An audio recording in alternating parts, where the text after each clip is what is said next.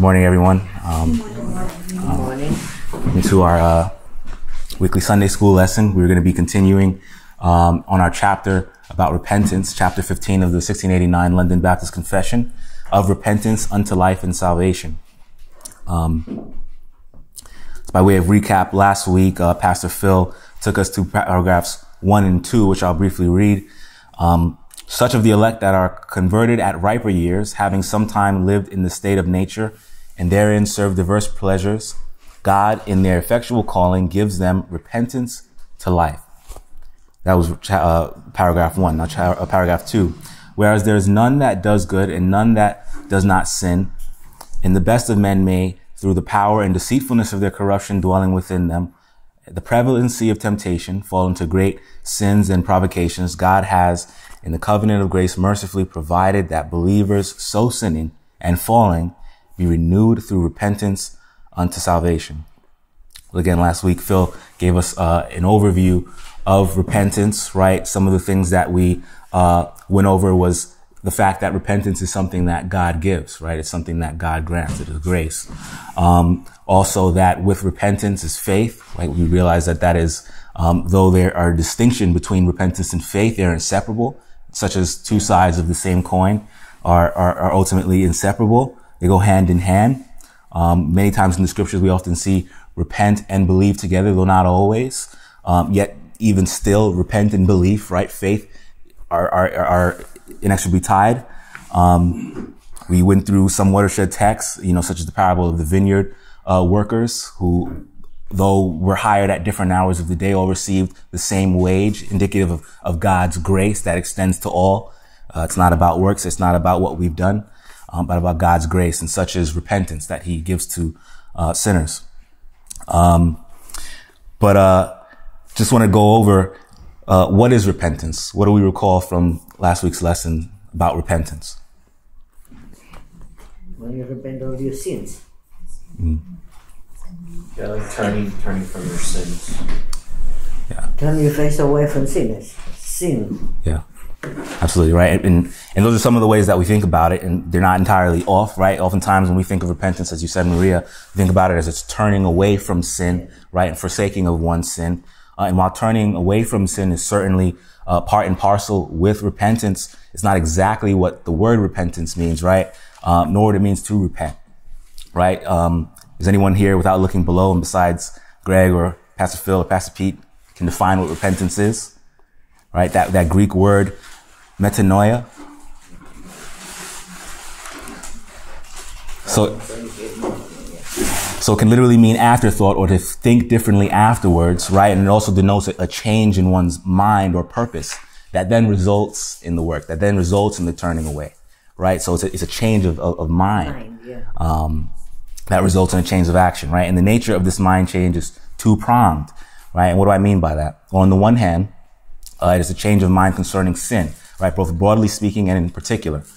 Uh, for instance, when God effectually calls uh, a sinner from death to life through the enabling power of the Holy Spirit, um, i.e., regeneration, one of the first things that person will usually begin to realize is that their whole lives thereunto, right, up until that point, um, they'd lived in complete and utter rebellion and rejection of God's law, of God's righteousness, uh, and, and that they were in outright rebellion to Him, right? And though there may be one or two sins at the forefront of their mind, right, perhaps something that they were previously engrossed in, right, or something that they were immediately saved out of, oftentimes the person will immediately, if not eventually, come to the realization of their sinful state. They'll become aware, I, I've, I've been in this sinful state my entire life, right? Um, as well as the myriad of other ways in which that manifests itself, right?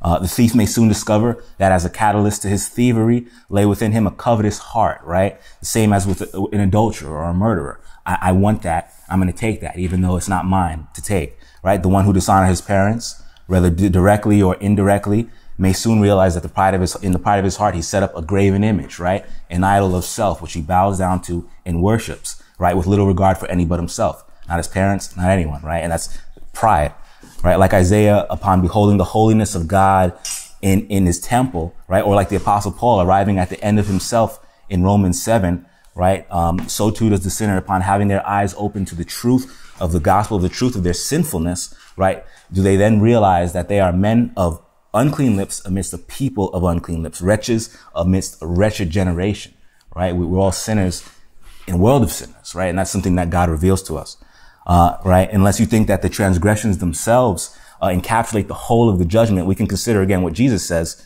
in John 13, 9, uh, uh John 3, 19, rather. Uh, also looking at 16, 8 through 9 and John 8, 24. John 3, 19, and this is the judgment. That light has come into the world and the people love the darkness rather than the light because their works were evil. 16, 8 through 9. And when he comes, this is the Holy Spirit Jesus is talking about, the helper, he will convict the world concerning sin and righteousness and judgment. Concerning sin, because they do not believe in me.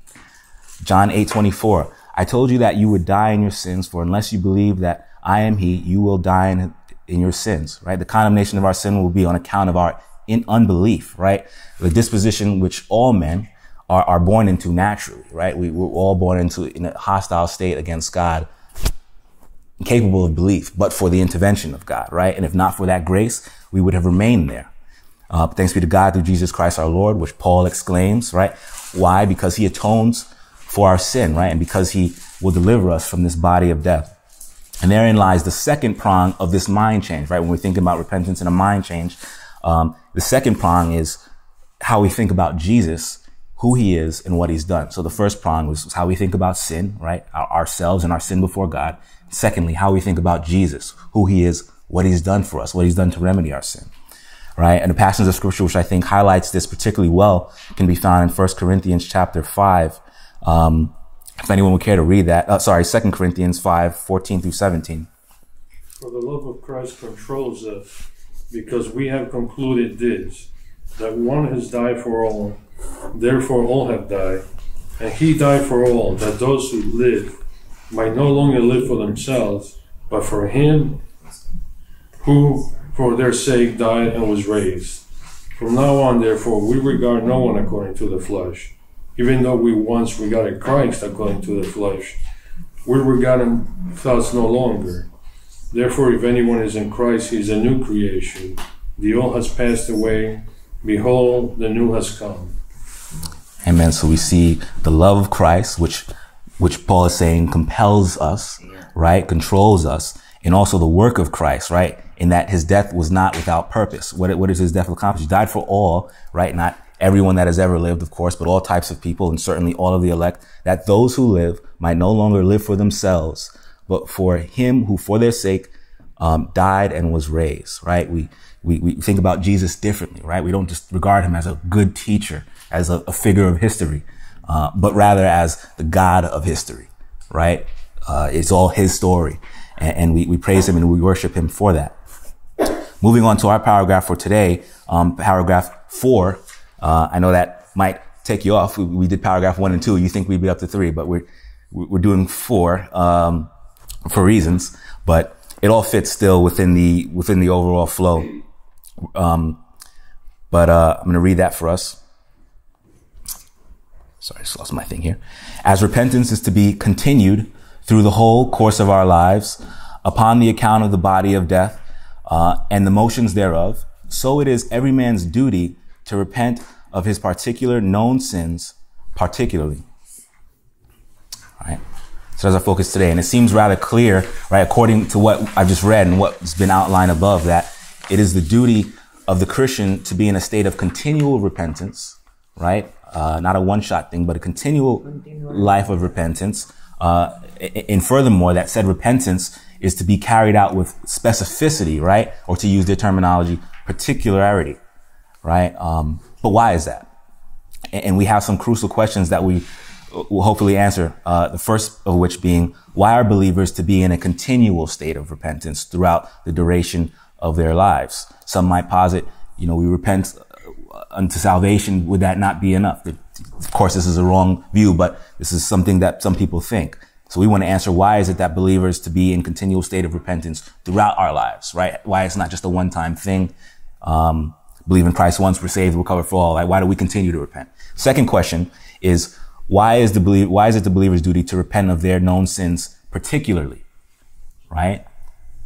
Um, so over the next half hour or so, we'll endeavor to answer these crucial questions, uh, and perhaps uh, discover what they reveal to us on the one hand about the corruptive nature of sin, and on the other about the steadfast love and the amazing grace of God.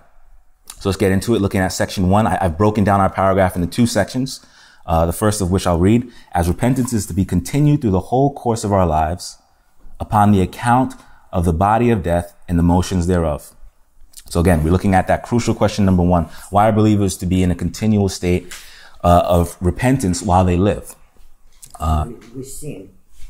We make sin. Yes, pretty much to put it plainly, yeah. right? Uh, we read uh, we just read that it is, quote, to be continued throughout the whole course of lives, end quote. But why? Well, we a little further ahead, immediately further ahead, right? And we arrive at the answer to our question. Upon the account of the body of death and the motions thereof.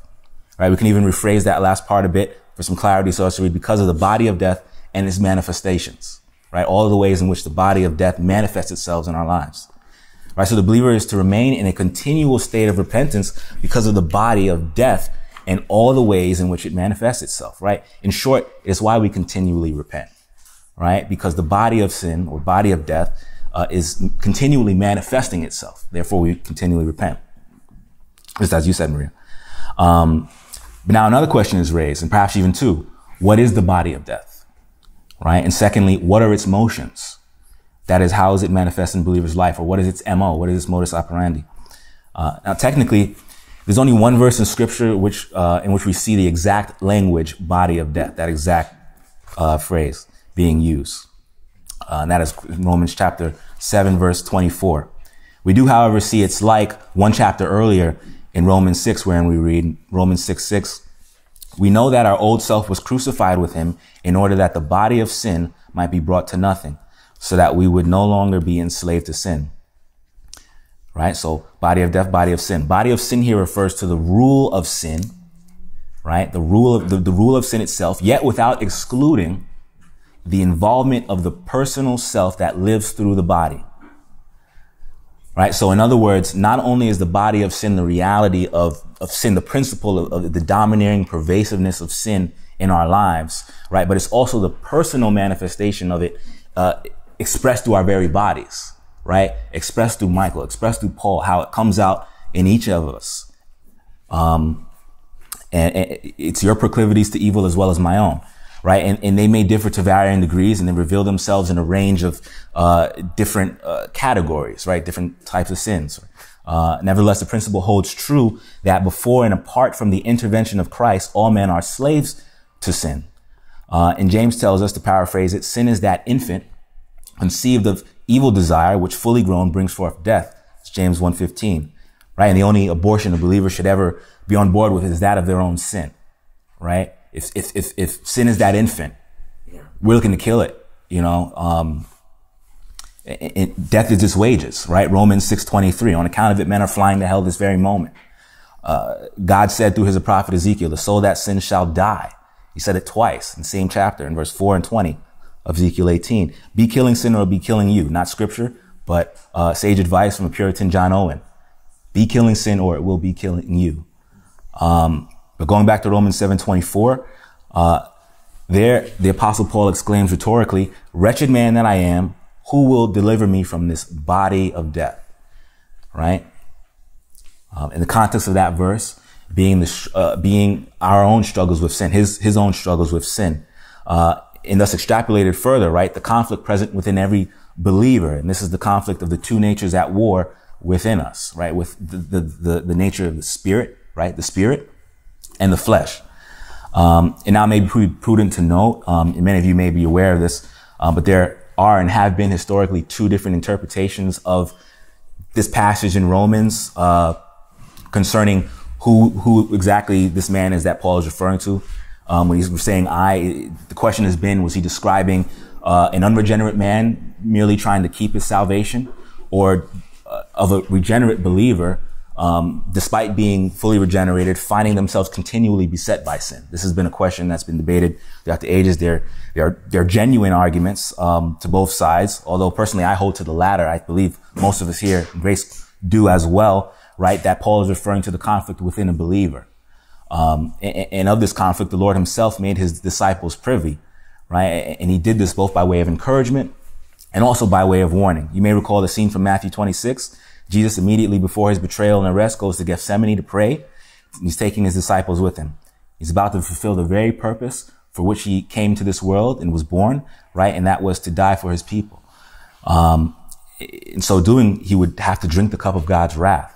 And naturally, he was very much troubled by this. And we know that because scripture records his very words from that hour. In verse 38, again of Matthew 26, he says, my soul is very sorrowful, even to death. He instructs the majority of them to wait in one spot. And then he goes on to another spot a little further, taking Peter, James, and John. Right. Uh, and there we read continuing from verse 39, uh, and going a little farther, he fell on his face and prayed saying, my father, if it be possible, let this cup pass from me. Nevertheless, not as I will, but as you will. And he came to the disciples and found them sleeping. And he said to Peter, So could you not watch with me one hour? Watch and pray that you not enter into temptation. The spirit is indeed willing, but the flesh is weak. Now, was Peter unsaved? Of course not. He, he, he, Prayed Jesus to die. yeah. No, yeah, no, but I'm asking, was Peter unsaved, right? Jesus is kind of offering a, a, a, a slight rebuke and exhortation to him. And, and I'm trying to bring it back to that, that, that point of the debate in Romans 7, whether Paul is talking about an unsaved man or a saved man. But of course, Peter was saved, right? Sure, he can be a bit brash, uh, immature perhaps, and at times weak in the faith, but he was a believer, no less, right? Just 10 chapters earlier in Matthew 16, we see Jesus commending Peter for his confession, right? And he remarks that this knowledge, the knowledge that Peter just confessed about Jesus was not obtained by mere human deduction, but by divine revelation, right? Can someone read Matthew 16, 15 to 17? He said to them, But who do you say that I am? Simon Peter replied, You are the Christ, the Son of the living God. And Jesus answered him, Blessed are you, Simon Barjona, for flesh and blood has not revealed this to you, but my, my Father who is in heaven. Amen. In John chapter 6, um, after many of his disciples, quote unquote, excluding the 12, end up leaving him on account of some harsh sayings. What are those harsh sayings? I.e., that one must eat of my flesh and drink of my blood, uh, to abide with me to have eternal life. Uh, he asked them, he asked them too, right? And these are now the 12, uh, if they intend on parting ways. Peter, the spokesman of the group, responds, John 6, 68 and 69. Simon Peter answered to him, Lord, to whom shall we go? You have the words of eternal life. And we have believed and have come to know that you are the Holy One of God. Right? So it's clear that, that Peter's convictions are, are, are, are, sincere and also God given. Right? And yet we know this same Peter, arguably one of Jesus' closest disciples, would end up denying him three times. We know he'd end up ultimately being restored and even repenting those three times, but denied him three times in a single night, right? So, so when, it's, when it says the spirit indeed is willing, but the flesh is weak, is that is that the Holy Spirit or is that is it the human spirit? The Holy Spirit. Holy, Yeah, the whole- debate on, on, on whether it's, it's really the human, whether it's the, is the person or, or is the Holy Spirit. Yeah, I, I, I believe it's more towards the, the, the Holy Spirit, right? Especially when you're talking about that, I mean, that was conflict. definitely saved. He, he definitely had the Spirit at Yeah. that point. Because obviously, yeah, yeah. Yeah. Even 'Cause- if he uh, denied Jesus three times, he was saved. He was saved. Yeah. And the point that I'm trying to make is that the battle between the flesh and, and the spirit is something that believers, even believers face. And it can be very real. It can be very shocking, even in some of the things that, you know, we might be led to do, you know, on account of sin and account, account of the flesh, right? Um, but to, yeah, to answer your question, I, I believe it was the Holy Spirit because I mean, even if it was sp- his human spirit, right? And if it was that alone without the Holy Spirit, would that really even like would that even be able to contend with with the with the flesh like it would just be going along with the flesh right humans do things of, of out of their spirit of evil like you know so that's what i personally think When we went through sanctification, we talked about the battle, the, the constant striving between the flesh and, and the new nature. And it comes up here again that we have to repent every time we sin because it's a constant battle. yeah And every time we fall into sin, we have to acknowledge that we sin and repent. Exactly. It's a constant battle. Uh, exactly and, and that that again brings us back to like our paragraph talking about the continual sort of nature and reality of this repentance, right? It's not a, a one-time thing because we don't sin one time. Um, right? And all this to show that sin is ever present, right? Even within the believer. It's, it, it's lying in wait, right? Crouching at the door, uh, and its desire is against us, right? That's what God told Cain. Uh, in Christ, no longer are we slaves to it, but beset by it, and often so we most certainly are, right? And, and so we are to be watchful, sober minded, vigilant, and also prayerful, right? Seeking the Lord for strength and renewal in those moments, right? Because if we think we can try to do anything, whether, whether it's prayer or whether it's to be able to be bold and stand for Christ, if, if we're not, if we're not aware of the, of the attacks of the devil, of the, of the weakness of our flesh, and if we're not seeking that, that fount of grace for power and strength, don't think we fare any better than Peter or, or anyone that's fallen, right? Because sin is something we face daily and which remains in us, uh, though not in a place of utter dominion as it once was. We must and will daily be repenting of it, seeking the Lord for grace to change uh, our hearts and our minds concerning it, and all the more concerning Him, concerning Christ.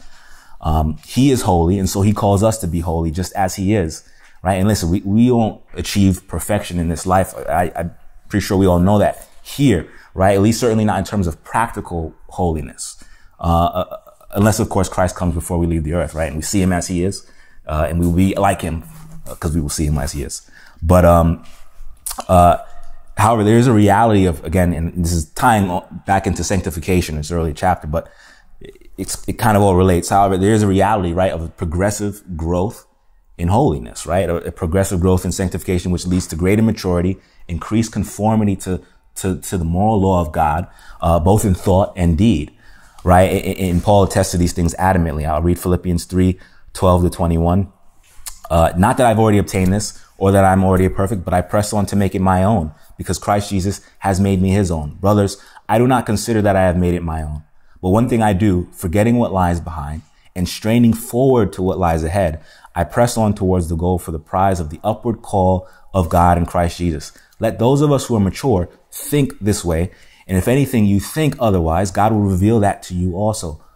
Only let us also hold true to what we have attained.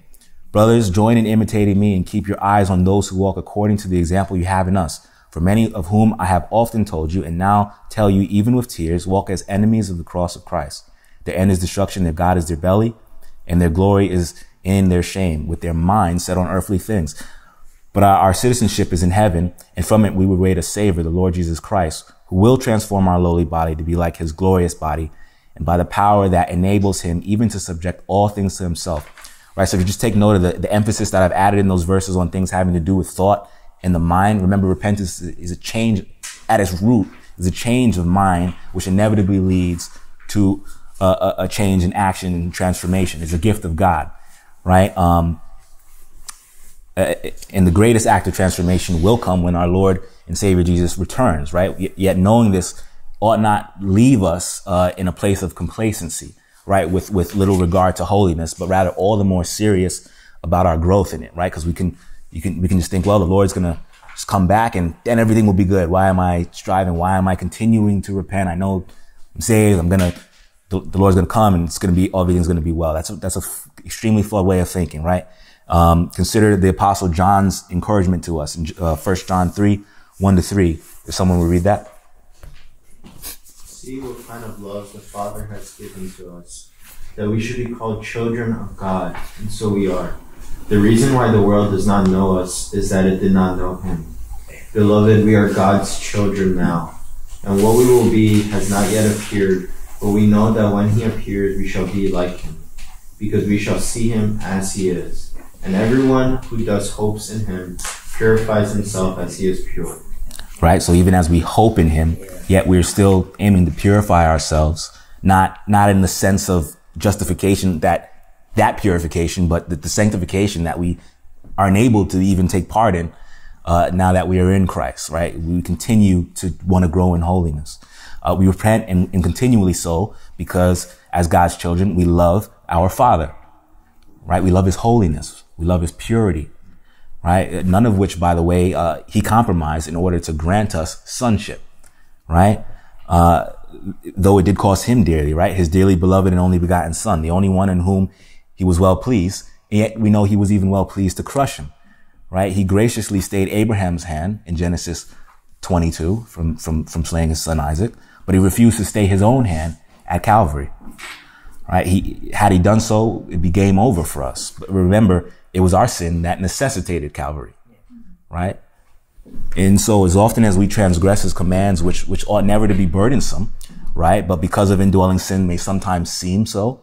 Uh, and as often as we commit those atrocities for which our Savior bled and died, we must confess them to God, right? We must confess them to God and we must appeal to his faithfulness, right? And also to his justice and trust that we will find forgiveness and cleansing, right? In 1 John 1 9, he's both faithful and just to forgive us our sins, cleanse from all unrighteousness. We confess, um, our sins to him.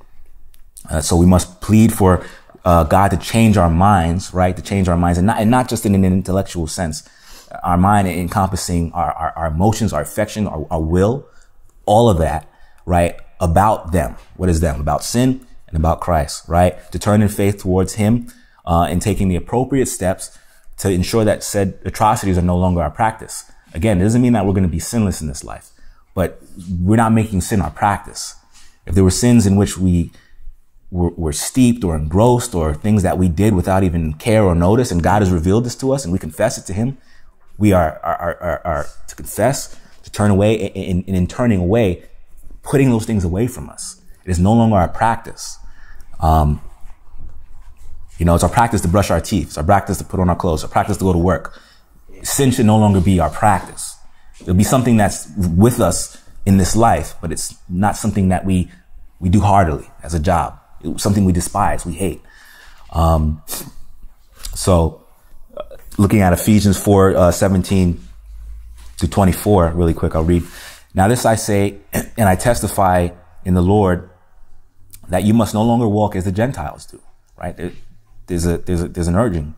Uh, in the futility of their minds, they are darkened in their understanding, alienated from the life of God because of the ignorance that is in them due to their hardness of heart.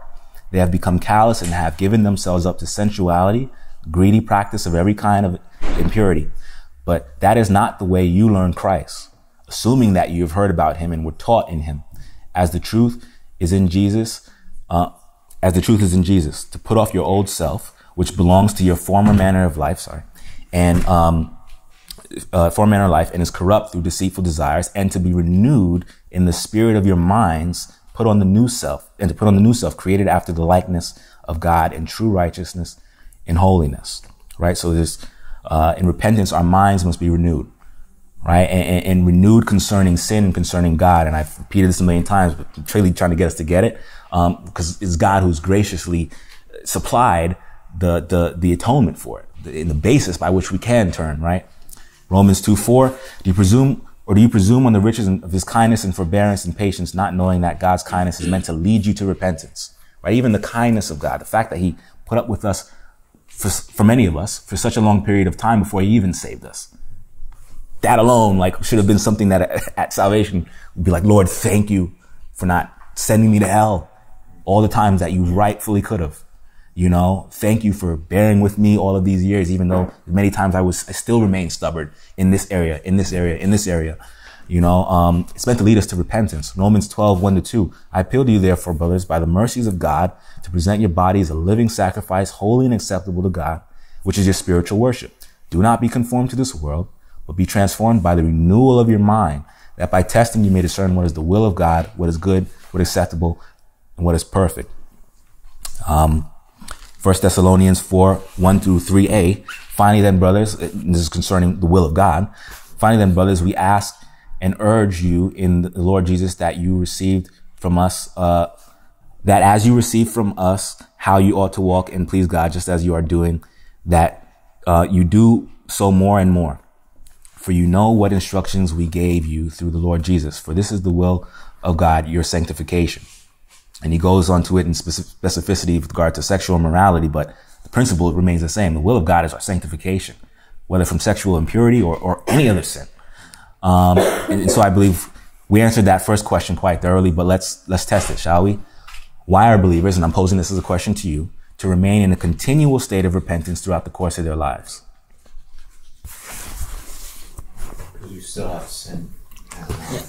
Yeah and we need to wrestle with that. Like while we're still in the flesh. Um, because we're not perfect. Yeah. Yeah. Amen. Like, can can we say that when you repent, um, although it's the same in essence, it's it's slightly different in purpose or reason in the sense of when you repent of your sin, it's because you've been regenerated and you first come to know Christ. Now that you are a believer, as it says in John 13, that you, we need our feet washed. Um, we, we read that passage, I believe. Last week. Uh, we need our feet washed because we still walk on the on the road uh, in, in this world in, in, in the sense that we're not of the world, but we're in the world. Um, and so when we repent, we repent of, of known sin that we know displeases God, but it does not give us salvation. Um, it's something that we do out of our love for our Lord. I've, I've displeased you. I've, I've, uh, I've messed with an idol or, or my, my lusts of, of greed or money or whatever it may be. And, and because I've displeased you, will you forgive me? I want to keep short accounts with you. Yes. Absolutely. I would- agree 100%. And I think that, I recall from what I listened to, you, to your lesson last week, that was one of the questions that you had asked, right? Is repentance something that only a believer can do, right? Yes. And, and it's not in the same, it's, it's not a, it's not a, at least the repentance that we're talking about here is not that one that would merit salvation or that would get you into God's good graces, such as Roman Catholics believe with penance, right? Um, but it, but it stems from a desire to remedy a displeasure that that may exist between us and God on account of a a sinful sinful actions, right? Um, in, in, in something we want to set right. Um, the believer is to remain in a continual state of repentance throughout the course of their lives because they're born again. They continue to wrestle with sin, right? As you said, Paul, in the flesh, i.e., the body of death or sin, uh, and also because we love the Lord, right? Uh, and we, we we aim to please Him by faithfully living in His will. Uh, right, right. He's He's our Father, and and and it's, it's not a re- not a repentance to be saved, but a, a repentance from the sin that we continually have in our lives. That's original repentance before we were saved. That's like seeing what sin is that, Mm-hmm. that we, we actually did was sin against God. Mm-hmm. Every everything, all the sins that we committed, Mm-hmm. and then we turn to God and for salvation and faith. Continuing repentance is repenting of particular sins Yes, that we do that we commit all the time because we're still sinners. right, 100%. It's not the same as the beginning. Not the same as the beginning. First, see that sin is sin. Right, Then we see what's individual sin. right, right. Absolutely, right. There was the repentance unto life, right, which in Acts uh, uh, um, 11, uh, 18, if I'm not mistaken, or, or 28, it talks about that. The Gentiles receiving repentance unto life, you know, and, and then there's the repentance from our daily sins that we commit. Um, but moving along, right, to our next and final section, uh, we read at that last section of the paragraph, so it is every man's duty to repent of his particular known sins, particularly. Right? So we understand the need for co- continuous repentance, but, but why also particularity, right? Why also particular? And that, that's our, our second crucial question. Why is it the believer, why is it the believer's duty to repent uh, of their known sins particularly? Right? Um, Jeremy Walker, pastor of Maidenbower Baptist Church in Crawley, England, and fellow contributor to a new exposition of the London Confession, uh, London Baptist Confession of Faith of 1689, uh, which has been a great study resource to me in the preparation of this lesson. He says that repentance is, is much more than a general change of mind or a vague awareness of sin. Uh, it is relatively easy to assault sin generally, to speak with fervor against sins in the plural, but true repentance deals with particular, individual, and specific sins. 19th century theologian Charles Hodge writes, quote, no man has any right to presume that he hates sin in the general unless he practically hates sin in, uh, hates every sin in particular. And no man has the right to presume that he is sorry for and ready to renounce his sins in general unless he is conscious of practically renouncing and grieving for each particular sin into which he falls. It's a pretty, pretty deep statement. Um, and so true repentance then involves dealing not merely with sin in general, right, but also with sins in particular. Walker goes on to argue that most of us um, have what we might call or, refer to as constitutional sins, right? These are sins which one might be particularly prone, right? Um, and we all have different ones. I mentioned this a little bit earlier. In some, it may be envy or covetousness. In others, sexual lust, gluttony, thievery, wh- whatever the case may be. Um, the list goes on and on for most of us, and, and it's likely to be several in, in most of us.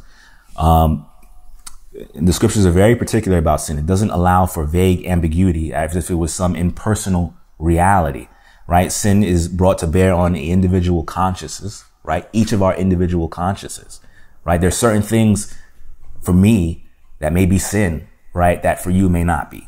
Um, and if I engage in those things, going against conscience, scripture tells me that I'm in sin. Um, and, uh, and also with regard to its particular manifestations in us, right? Before uh, their conversion, the Thessalonian believers had been well known for their idolatry, um, their idolatry. Their repentance was demonstrated by the turning to God from idols. The evidence of their alienation from God was idolatry, and the specific sphere of their repentance, therefore, was turning from that specific sin of idolatry. Right? First Thessalonians 1, 8 through 10. I'll read it really quick. For not only has the word of the Lord sounded forth from you in Macedonia and Achaia, but your faith in God has gone forth everywhere, so that we need not say anything. For they themselves report concerning us the kind of reception we had amongst you, how and how you turned from God, uh, turned to God from idols to serve the living God, and to wait for his son from heaven, whom he raised from the dead, Jesus who delivers us from the wrath to come.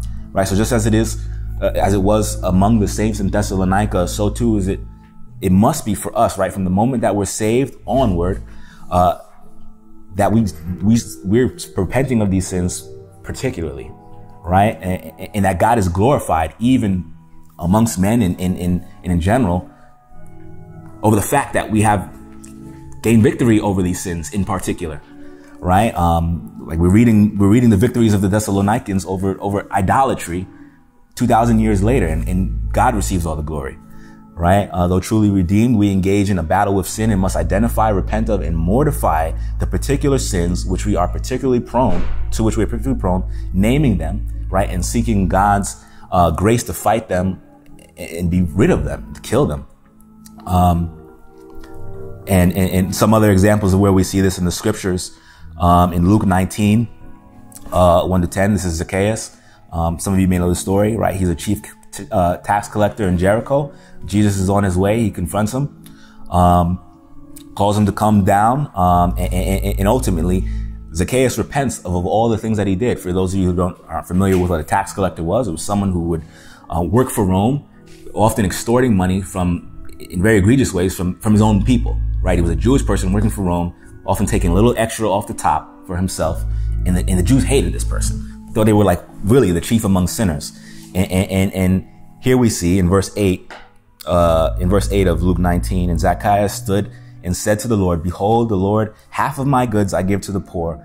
And if I have defrauded anyone, I restore it fourfold. Right? So Zacchaeus wasn't beating around the bush with regard to his sin when he repented of it. He was like, these are the things that I was doing. And, and, and if I defrauded anyone in, in, in, this way, I'm making restitution. You know, I'm, I'm gonna, I'm gonna make it right. Right? Um, and this is a beautiful example of, right, fruit being borne in keeping with repentance, right? Uh, and this is something that we should all endeavor. If there's something in our life that the Lord is revealing to us as sin, we need to, we need to, to change our minds about it. We need to turn from it. And, and if in, in the case it may manifest in doing something to remedy that or to make something right, we need to do it, right? Uh, last portion of scripture I'll leave us with is uh, 1 Timothy 1 12 through 17. I thank him, and this is from Paul, I thank him who has given me strength, Christ Jesus our Lord, because he judged me faithful, appointing me to his service. Though formerly I was a blasphemer, persecutor, and insolent opponent, right? But I received mercy because I had acted ignorantly in unbelief. And the grace of our Lord overflowed for me with the faith and love that are in Christ Jesus. The saying is trustworthy and deserving of full acceptance that Christ Jesus came into the world to save sinners of whom I am the foremost.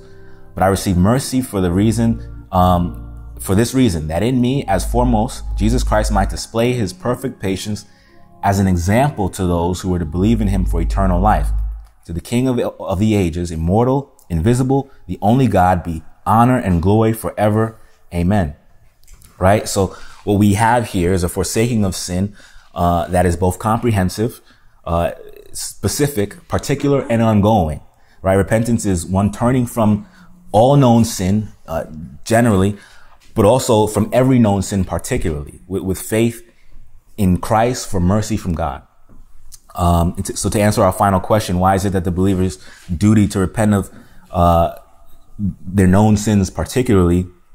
Well, I'd say because uh, every sin committed, right, is another occasion for which we'll be praising the Lamb who was slain, right, ascribing to Him worth, right. Also because while He was on that tree, every one of those sins right? Even the sins that we continually to commit in this life, on, on this side of salvation, right? Um, he's paid for, right? In the place of justice, we receive mercy, right? In the place of wrath, we receive grace, uh, in all of which is to the praise of his glory.